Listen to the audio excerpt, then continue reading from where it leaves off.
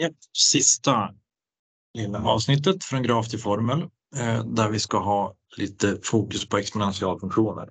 Eh, nu är det ju regressionsanalys vi ska göra och det har vi gjort flera gånger förut nu, både på linjära på andra gradsfunktioner och nu ska vi göra på exponential.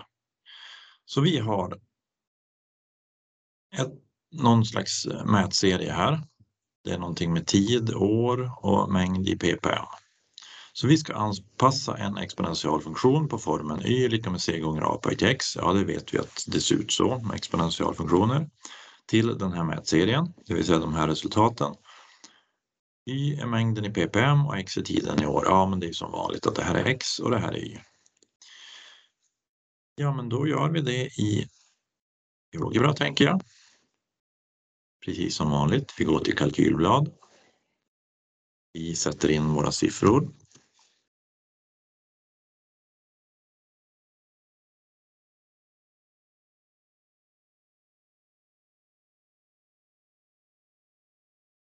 Då har vi fått in alla, vi markerar.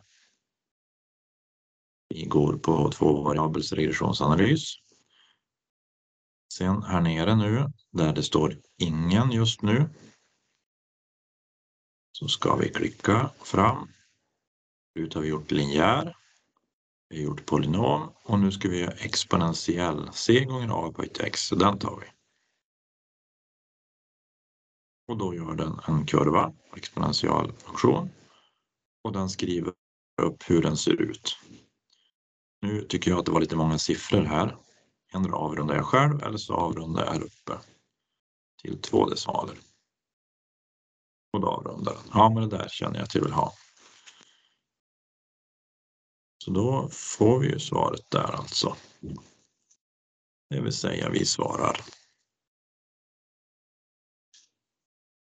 mm, y lika med 73,71 gånger 0,91 upphöjt till x.